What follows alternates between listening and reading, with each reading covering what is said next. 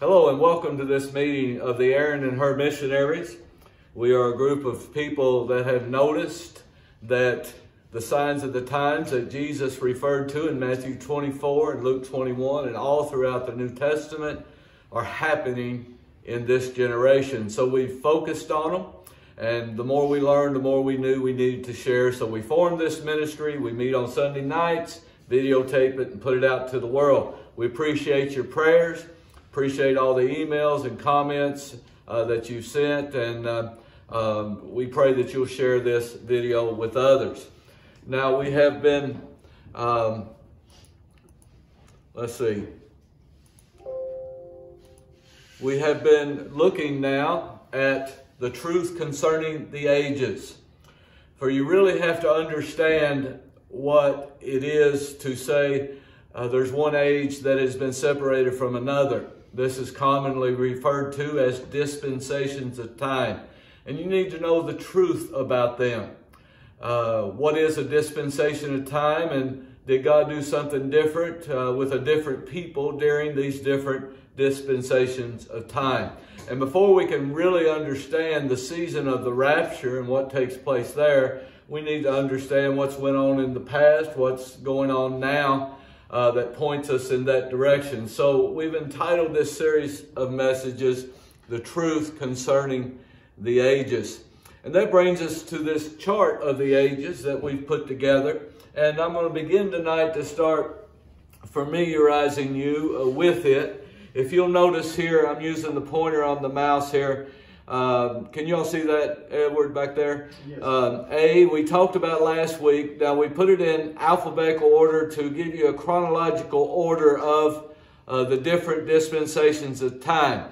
So when you see at the top of a bar, uh, the A, in this case, of course, it's the beginning, Genesis chapter 1. And we're going to add many things below all these uh, as we learn in, about the different uh, dispensations of time but we put them in alphabetical order at the top so that it would denote the change of an age, the change of a dispensation of time. For an example, from Genesis and Adam and Eve and the fall of man, God began to deal uh, with Abraham to become a people. Abraham obeyed and become the father of all the Hebrew people. And God dealt with the Hebrew people, keeping his promises and uh, bringing about his plan for the redemption of mankind through the nation of Israel for 4,000 years. And then the Lord Jesus came, the promised Lamb of God, which moves us to a different time dispensation. And you'll see that we have been in it from B to C uh, for 2,000 years, which is now the church age. And then, uh, and the reason I'm showing you this now, because if you don't have, if you don't have the rapture here, uh, before uh, the uh, seven years of great tribulation, none of the rest of this makes sense.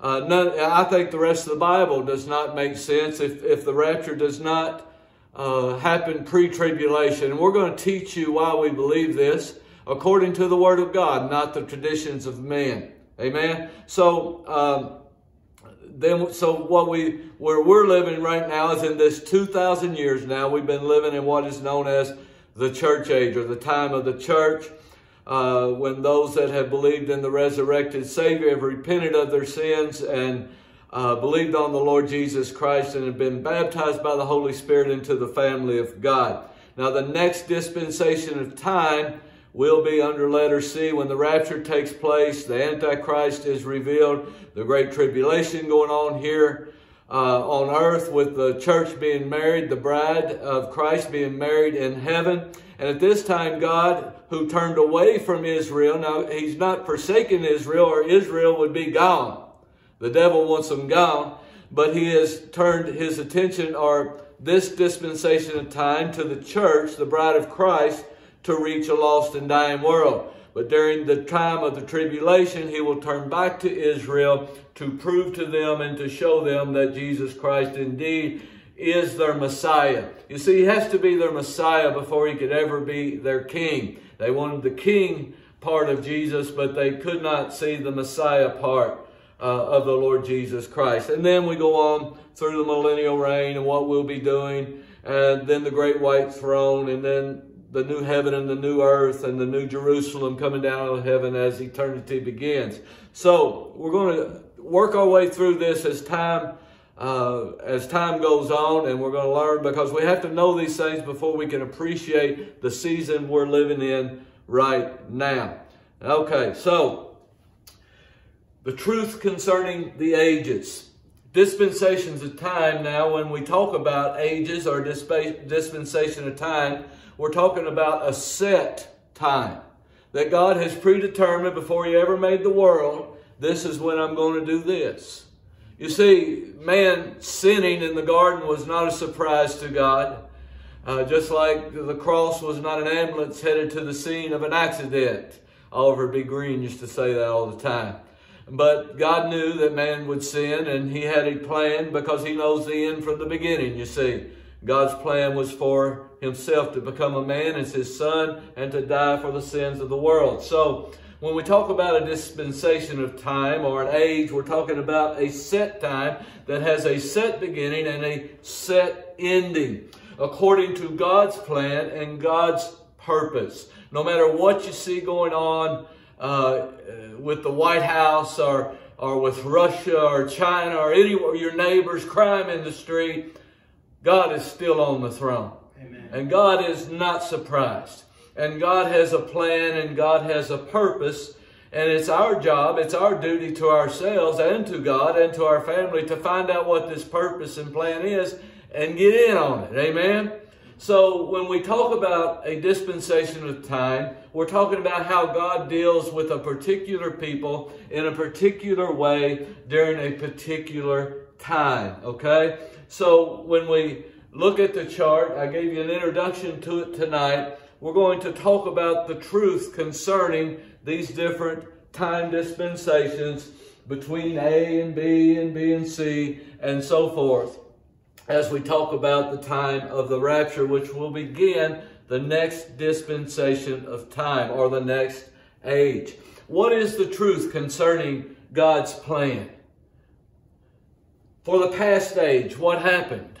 What is the truth? What is the truth concerning God's plan for this present age. What's the truth about it? What, what is God's plan? What is happening right now according to God's plan and purpose? What is the truth concerning the future? What's God's plan concerning the future? What's going to happen? So we have to ask ourselves, who knows the truth? God knows the truth. And God has written down the truth in the Word of God, for Jesus said, Thy Word is truth. John 17, 17. So we have to ask ourselves, do we have the true Word of God? Do we have God's true words? Is what we call the Bible, the Holy Bible, really God's Word or words to us? Well, I make a vow to you and to all of our people that are here that we're going to look at facts facts that can be substantiated, that can be proved, and it will leave no doubt to a reasonable mind. And no one will be able to prove anything that I'm saying to be wrong to you. Nobody can prove that because we're going to use facts that we know are true and can be proven to prove that we do have the Word of God. Because if you don't believe that we have the Word of God,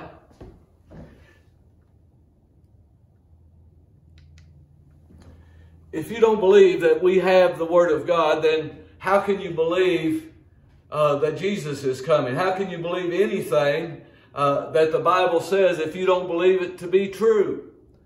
Let me show you something that God says about His Word and people. He says in 1 Corinthians 2.24, But the natural man receiveth not the things of the Spirit of God. Now, when the Bible talks or refers to someone as the natural man, he's talking about uh, when man is in his fallen nature. You see, when we are born into this world, we are born with a fallen nature.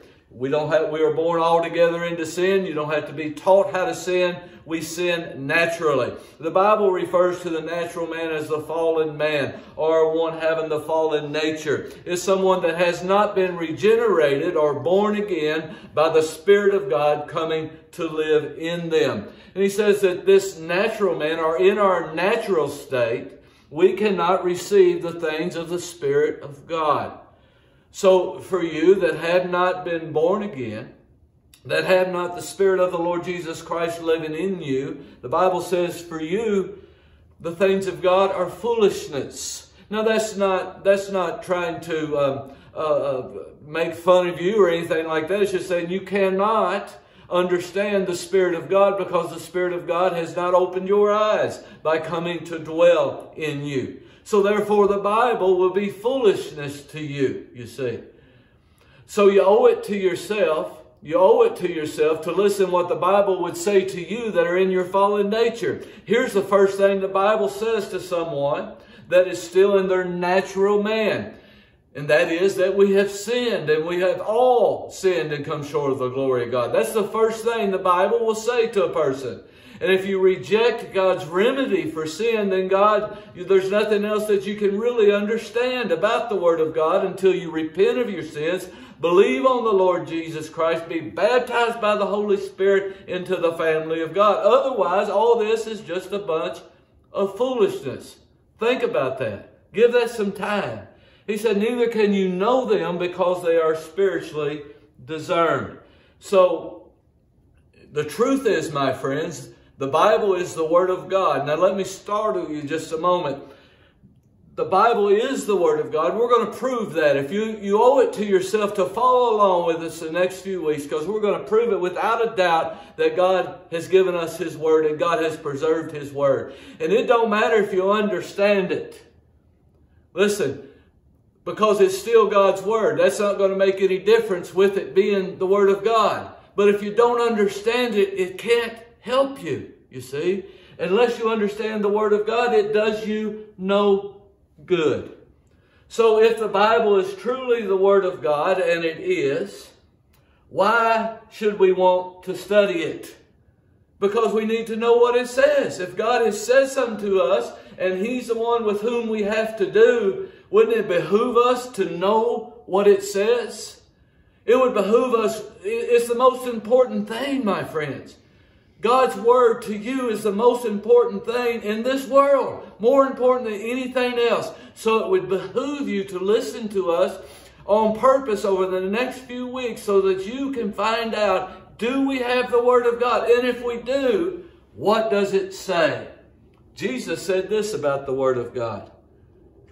Jesus said, He that rejecteth me and receiveth not my words hath one that judgeth him the word that I have spoken, the same shall judge him in the last day. You see, my friends, if indeed Jesus told the truth here, it is the word of God that will stand judgment over us on the day of judgment. So wouldn't it be imperative for me to know what the word is going to say? How can we be right with God if we do not know what his word requires of us? And on the judgment day, it's not going to matter. It's not going to matter uh, concerning the truth of God if you believed it or not. It's still the truth. It's not going, listen, if you understood it or you don't, the Word of God is still going to judge us according to what Jesus said. So it's very important, very important that you get this settled in your heart. Now, I believe we have the Word of God. So we have to ask ourselves these questions that will be answered because it's under attack today. The Word of God is under attack from every angle today. And we're going to talk about all that kind of stuff. But do we have the Word of God? Yes, we do. I'm going to prove it to you. Now, if I'm right, we have to ask ourselves these questions. Excuse me. Is it complete? Do we have the complete Word of God? Is it prophetic? In other words, has it prophesied of events before they happened and have they come true? Yes, many, many, many times. Many times, hundreds of times, just at the birth of Jesus Christ alone. You see, no other book, no other book dares to prophesy like the Word of God. Amen. So, is it prophetic? If, if, if prophecies in the Old Testament have come true, then, my friends, we can rest assured that the prophecies that are in the future will as well come to pass. Then we're going to answer the question Does the Word of God ever change? Some people believe today that call themselves Christian that the Word of God changes with the culture. But I'd say to you, my friends, God's Word never changes. It's the same yesterday, today, yesterday, today, and tomorrow, just like God is. So, we're going to talk about that. Now, if somebody asked you, child of God, do you believe in the Word of God? And you say, yes, then you need to tell them why you believe the Word of God. See, that's where we fall short in the church because we always want to say, well, let me go get the preacher or let me go get the Sunday school teacher. We need to be able to tell them why we believe. You need to know in your heart why you believe the Word of God. Or you may say, no, you don't believe the Word of God. Well, why do you believe that? You need to be able to answer these questions honestly to yourself. And when we think about this, we got to think about, excuse me, what does the Bible claim to be? And is it what it claims to be? The Bible claims to be the revelation of God. The Bible claims that uh, God is revealed within its pages between Genesis and the Revelation. That God is unveiled and that His will and his character is revealed to mankind. The Word of God claims to be the truth about God. The Word of God claims to be the truth about man, the fall of man, the way of salvation, and God's plan and purpose for the ages. Now listen, in order for the Bible to be God's Word and for us to find the truth of the ages, then it has to be infallible. The Word of God has, in order to be His Word and to be everything that God's Word claims to be, it must be true. It must be accurate in every way, without error and without mistakes. Understand that the Bible teaches of four main persons God the Father, God the Son, God the Holy Spirit, and Satan. It teaches of three places where people exist heaven, hell, and earth. The Bible teaches of three classes of people the Hebrew people, the Gentile people, and the church, which is both Hebrews and Gentiles that have been washed in the blood of the Lord Jesus Christ. That's the three classes of people that the Bible recognizes or that there is in creation. The Bible is, and we're going to prove this if you listen now, the Bible is infallible because it is inspired of God, therefore it is inherent. You see, it is without mistake. And we're going to prove without a doubt that the Bible is indeed inspired, infallible, inherent, and we do have the, the Word of God in the Bible. Now, when we say inspired, means that it was created from a divine impulse. From a divine impulse that is so um, outstanding and brilliant to a degree it is past human ability. And we're going to prove that, that it is inspired. It is infallible, means that it is without mistake, it is incapable. The Word of God is incapable of making a mistake or of being wrong in any way. The Word of God is inerrant. It is truth that never changes and is always true as it contains the holy character of God. Only God could write such a book. And my friends, the Word of God claims that it is alive. And once you become a child of God, you will learn that the Word of God indeed is alive. Amen. Now, the first thing you need to understand as we start proving with facts that we do have the Word of God and that it is inspired and that it is infallible and that it is inherent. The first thing you need to understand is that the Bible came to us in pieces. Uh, it came to us in piecemeal, you might say.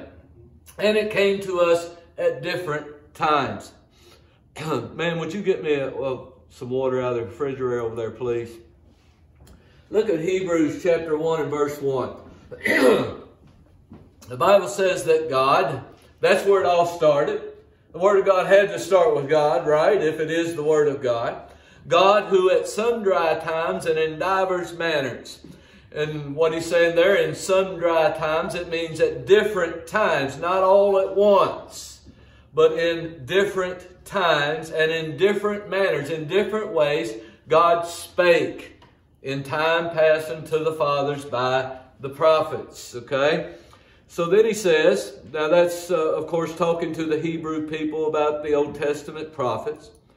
But then in 2 Peter chapter 1 and verse 21, for the prophecy, speaking of the Word of God, came not in old time by the will of man, take man all the way out of uh, what the words that are on the pages, you see. Now, God might have used man as a vehicle, but it did not come by the will of man. In other words, man did not sit down and think up in their own minds with their, their own power of intellect the Word of God and write it down. It's excluded. It's excluded from the Word of God. The prophecy came not in old time by the will of man, but holy men of God spake as they were moved by the Holy Spirit. In other words, God the Holy Spirit grabbed a hold of the man's heart, grabbed a hold of the man's mind, grabbed a hold of the man's hand, and directed his hand what to write. Fallible man was taken all the way out of the program. Now, this is a claim that the Bible makes. Can it be proven? Well, let me give you an example of what we're saying here. the Bible was written over a 1600 year period. 1600 years from BC 1492 to AD 100. The Bible consists of 66 different books, 39 in the Old Testament, 27 in the New Testament. Now, these books were written by 40 different authors. 40 different men at different times, different cultures, different places, different people, in different manners or in different ways, the Bible was written by 40 different authors. And their class or their place in society and in the world was all different. Listen to this. It was written by kings such as David and Solomon. It was written by statesmen such as Daniel and Nehemiah, by a priest such as Ezra, by men learned in the wisdom of Egypt such as Moses, by men learned in Jewish law such as Paul, by herdsmen like Amos, by a tax gatherer named Matthew, by fishermen Peter, James, and John, who were unlearned and ignorant men concerning the things of God, a physician named Luke, and such mighty seers or prophets as Isaiah, Ezekiel, and Zechariah. It is not a book about Asia, although it was written in that part of the world. It was also written in the wilderness of Sinai, in the cliffs of Arabia, the hills and towns of Palestine, the courts of the temple, the schools of the prophets at Bethel and Jericho, in the palace of Shushan in Persia, on the banks of the river Chebar in Babylon, in the dungeons of Rome, and on the lonely island of Patmos and in the Aegean Sea. It would be absolutely impossible for man, absolutely impossible for man to do that on their own. Spread out over 1,600 years, 40 different authors, all from different places at different times, to write a book where everything agrees and everything is in harmony and everything comes together, both in the past and in the present and in the future. Only divinity could write that. Only divinity could preserve that. If you look at it honestly, just in these facts alone, we have many more to give you, but only in these facts alone, it is an impossibility that man wrote the Word of God. Only God could have done it the way that it was written. And that's the way God works. So you'll know. Let me just give you an example for you to ponder. Hello, Michael. imagine, imagine a play that was written in the same manner, just a play. 66 different books written for one play. Written by 40 different authors or 40 different playwrights over a period of 1600 years. 40 different writers. And out of these 40 different writers, they all come from various backgrounds, various schools of thought, various languages, various cultures, various different times, and they're spread out all over the world, and they're not talking to one another, and they're not uh, collating together, and they're not getting together to collaborate on it. You see, there's no internet. And then after 1600 years, you bring the writings of all these different 40 authors together to make the play. What kind of a play do you think you'd have? Total chaos. You see, with a play like the Bible, you have to have a plot, you have to have a theme, you have to have a beginning, you have to have an ending, you have to have a central character or characters. It would be impossible for man to just write a play like this, much less the holy word of God that is inherent, it's infallible, huh? It's inspired by God, you see. Without mistake. The Bible has to be divine. Now listen, the Bible is written in a progressive way. There is a progression of revelation and doctrine in the Word of God. Now what I mean by this is that, for example, the judges knew more than the patriarchs knew. Okay? And the prophets knew more than the judges knew. And the apostles know more than the prophets knew. You see what I'm saying? It was progressive in its revelation as it is revealed to us God's plan and God's purpose. The old writings do not dispute in any way the new writings. And the New Testament in no way disputes or does away with the old writings. The Old Testament and the New Testament are not two separate books, but two halves of a whole. The new is explained with the old, and the old is explained with the new. You cannot understand Leviticus if you don't understand Hebrews. And you cannot understand Daniel without revelation. You can't understand the Passover or Isaiah 53 without understanding Matthew, Mark, Luke, and John, you see. Now, the language of the Bible is four kinds. Figurative, symbolic, literal, and parabolic. The parabolic method. method. Phrases like harden your heart, or harden not your heart, or let the dead bury the dead, these are figurative. Their meaning, their meaning is made clear in the context. Okay? Then you have symbolic language. When you, for an example, when you think of Nebuchadnezzar's, uh, when he had the dream of this Colossus uh, image, that is symbolic language. Daniel's four wild beasts, symbolic. Jesus in the midst of the seven candlesticks, symbolic. And all this symbolism is explained most of the time in that very chapter with which it's presented. But when it's not, it is explained somewhere else in the Word of God. Be careful of anybody's private interpretation of the Word of God, for the Bible says clearly there is no private interpretation. Amen.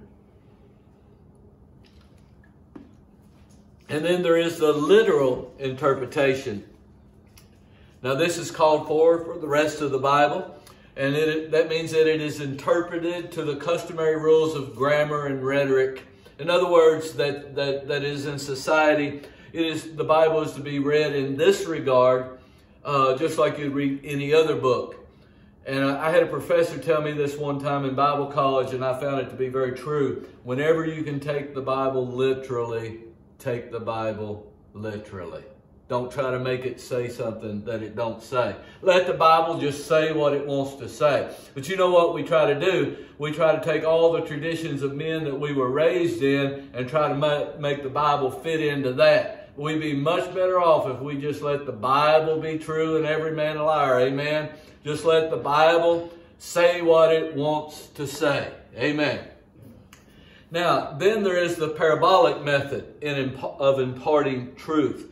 Jesus used this method a lot to teach the disciples. In the New Testament, it is used as a mystery method of imparting truth. Let me show you this. He said, And the disciples came and said unto him, we're in Matthew 13, verse 10, Why speakest thou unto them in parables? He answered and said unto them, Because it is given unto you to know the mysteries of the kingdom of heaven. Now, if you're a child of God, God's speaking to you there just like he was to the disciples. When the Spirit of God is living in you, then you, it is given to us, and we ought to praise God all night long over this. It is given to us to understand the mysteries of the kingdom of heaven. But to them it is not given. Because like we talked about earlier, like we talked about earlier, to understand spiritual things, you have to have the Spirit of God living in you. And I'm going to show you why in just a minute. But he's telling the disciples here, it don't matter if they're religious, it don't matter their background. If the Spirit of God is not living in them, they're not going to understand the things of God. But it is given to us to understand. That ought to put you on shouting ground there tonight. Now, verse 12 and 13, that same chapter, Matthew, uh, Matthew 13.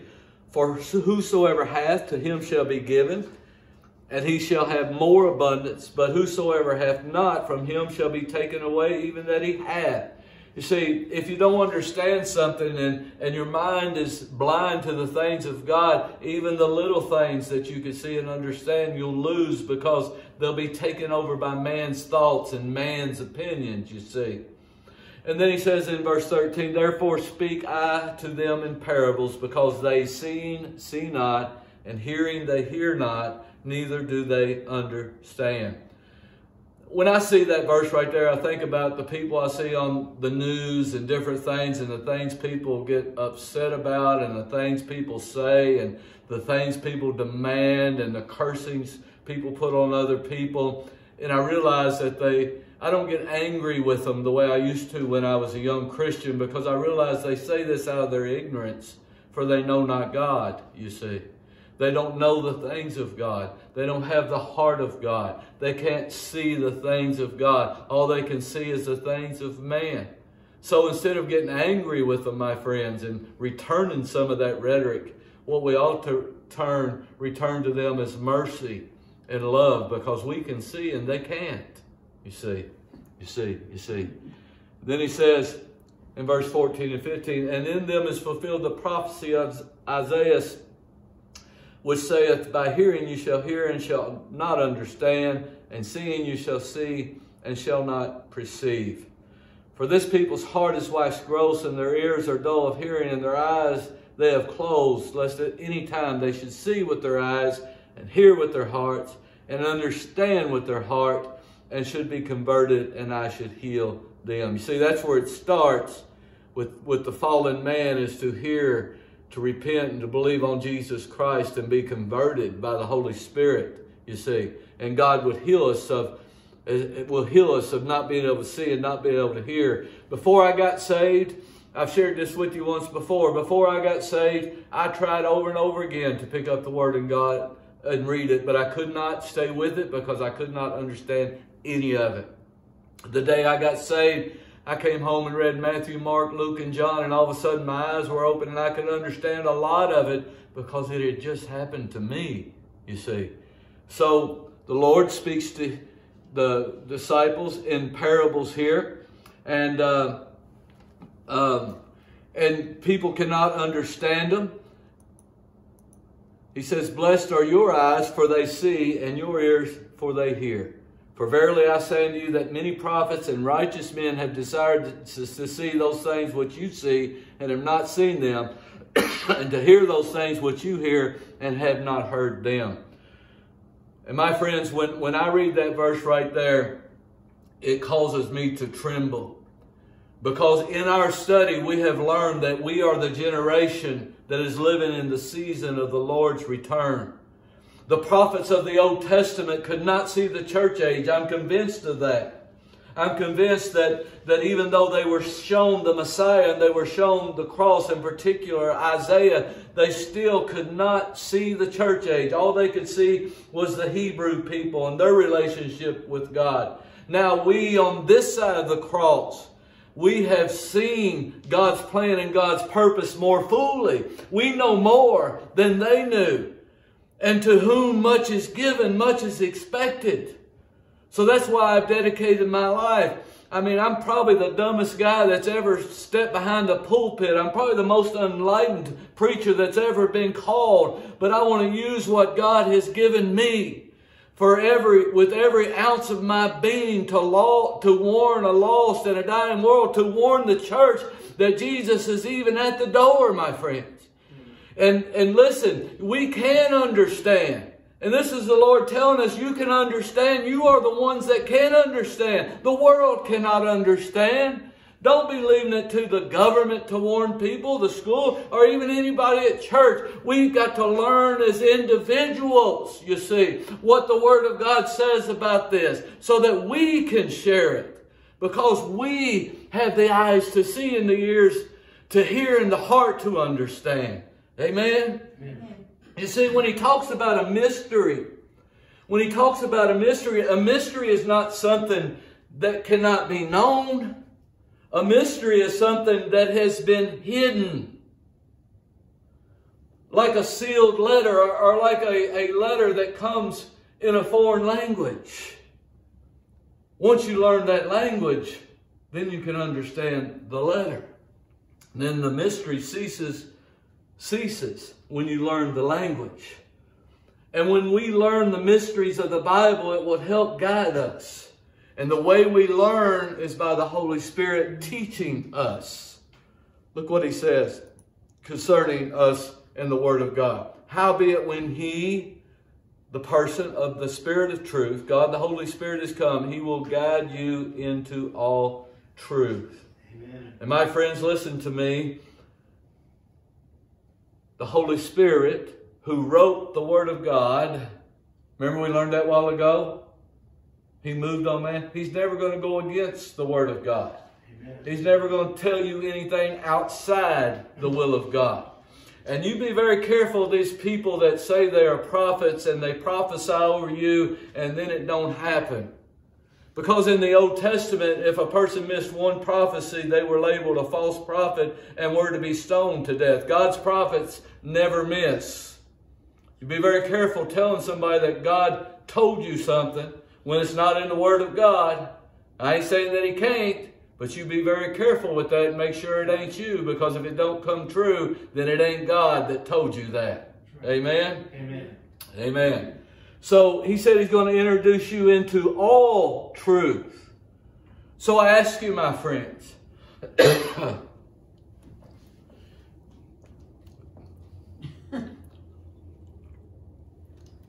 Sorry, I have a scratchy throat. My wife gave me a cold about a week ago and I'm having trouble shaking it. Everything goes wrong, it's her fault, right? so, let me ask you a question. Uh, where was I? The Holy Spirit is going to lead us into all truth. Amen.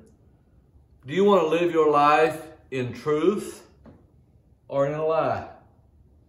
You see, it's my job to persuade you. It's, it's all of your jobs that are Christians to persuade people of what the truth is, and then they have to choose whether they want to live according to the truth or according to a lie. And once we know the truth, then it's no longer a mystery, right?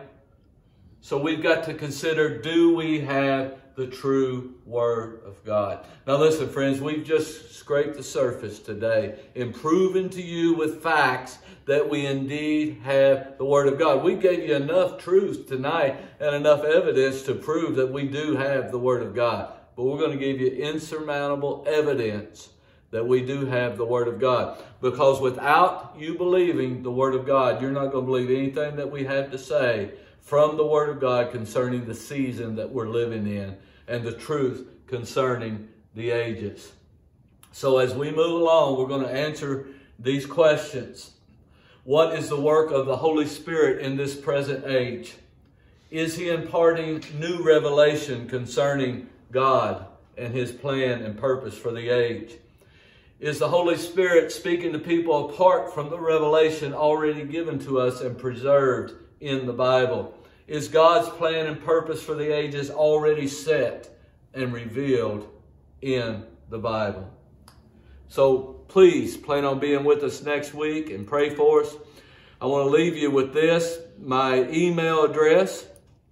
Some of you have been uh, dropping me a note here and there. Even if you don't agree with me, go ahead and send it to me and let's begin a dialogue and I'll show you why I believe what I believe and you tell me what you believe and why you believe it. We'll see if either one of us is relying on man's opinion or if we're both relying on what God has said. But feel free to email me there. And then here's our address. And I've said to you many times that we don't ask for money, and we don't. But people have been sending money, and uh, we're going to use this for God's glory. Uh, just to let you know what we're doing right now, we're going to hear uh, from a good friend of mine next week that is connected with some folks in Africa and with some of the refugees that have come here. And we have been uh, meeting on Saturdays, and, and some of these uh, wonderful men have been translating these lessons into French, uh, the, the language, the main language there in the Congo, the Congolese. And uh, they received the first message last week, and we're going to hear about the response with it and what all is going forth with that. So we want you to know that we are working hard every day and uh, we're trying to do what we can do uh, to share the news that Jesus is coming soon.